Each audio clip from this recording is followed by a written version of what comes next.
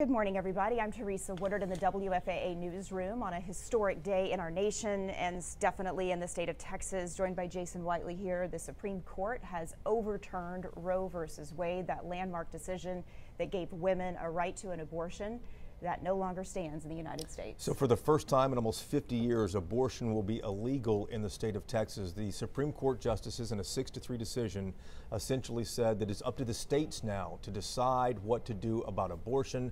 A number of southern states, Texas included, have decided to uh, outlaw abortion here. This is a huge day for Christian conservatives who have been trying to get this done for the past 40 plus years or so.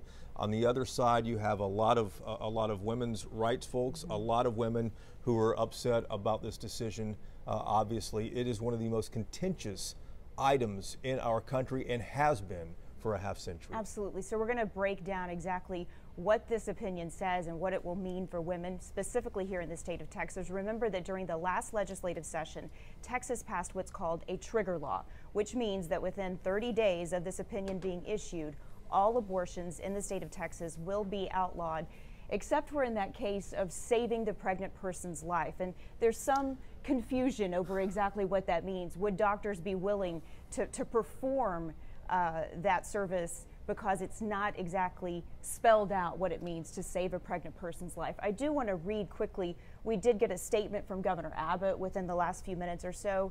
Uh, he says, quote, the U.S. Supreme Court correctly overturned Roe v. Wade and reinstated the right of states to protect innocent unborn children. He goes on to say, Texas has prioritized supporting women's health care and expectant mothers in need to give them the necessary resources so that they can choose life for their child. He says, I signed laws that extended Medicaid health care coverage to six months postpartum, postpartum rather, appropriated $345 million for women's health programs, invested more than 100 million toward our Alternatives to Abortion program. Basically, he is saying um, that while many on the side that say uh, we don't do enough to serve mothers, if we're going to tell them they have to have these children, we don't do enough to serve them and give them enough um, once the baby